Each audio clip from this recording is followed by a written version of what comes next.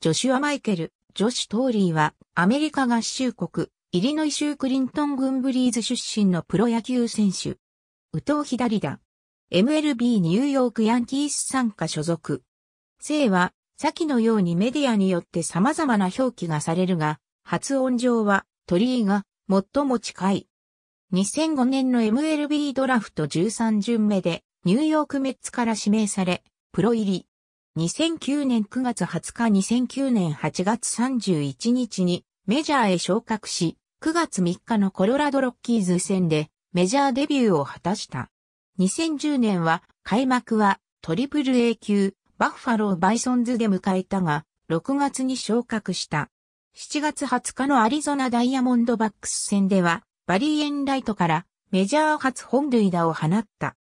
10月1日のワシントンナショナルズ戦では、タイラー・クリッパードからランニング本塁打を放った。2011年には正捕手となった。2012年5月7日にはフィラデルフィアフィリーズ戦でタイウィギントンと衝突して脳震盪を起こし、9日に故障者リスト入りした。6月1日のセントルイスカージナルス戦で復帰すると、ヨハン・サンタナのノーヒットノーラン達成をアシストした。12月17日にトラビス・ダーノー、ジョン・バック、ノア・シンダーガード、ウィルマー・ベセラとのトレードで、R.A. ディッキー、マイク・ニッカースと共に、トロントブルージェイズへ移籍した。ブルージェイズ加入1年目の2013年は、前年と比較して出場機会が激減。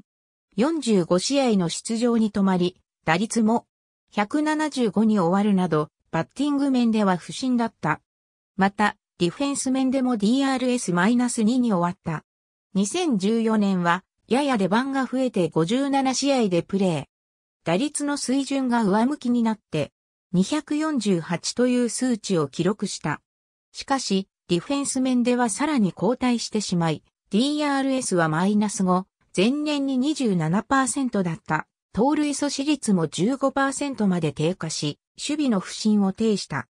2015年は、正捕手にラッセル・マーティン、リザーブ保守もディオナーナ・バーロと優秀な保守が役割を固めていたため、メジャーデビューした2009年以来で自己アースト2位の少なさとなる18試合の出場に終わった。打率は204に最低下し、6回盗塁を施行されてすべて決められるなど、攻守両面で成績が残せなかった。12月2日にノンテンダー FA となったが、4日にブルージェイズと1年契約を結んだ。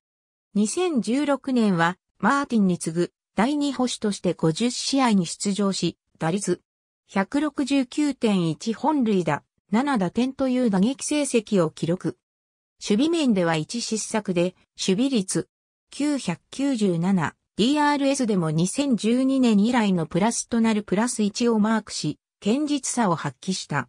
11月18日に FA となった。2017年1月24日にダイヤモンドバックスとマイナー契約を結び、スプリングトレーニングに招待選手として参加することになった。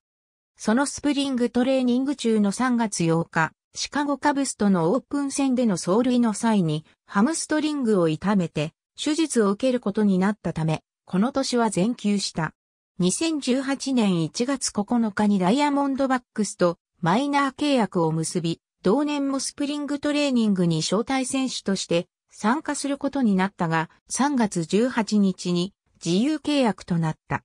口述の通り、ディッキーのナックルボールをキャッチすることには慣れているものの、全般的な守備は平均以下で、通算の盗塁阻止率は25%程度、さらに冒頭や、ホイツも多い。2016年4月20日のボルチモアオリオールズ戦の延長10回裏には、低めの何でもない直球をキャッチできず、サヨナラ捕逸を記録してしまった。ナックルボーラーの R.A. ディッキーとコンビを組むときは、大型のソフトボール用ミットを使っている。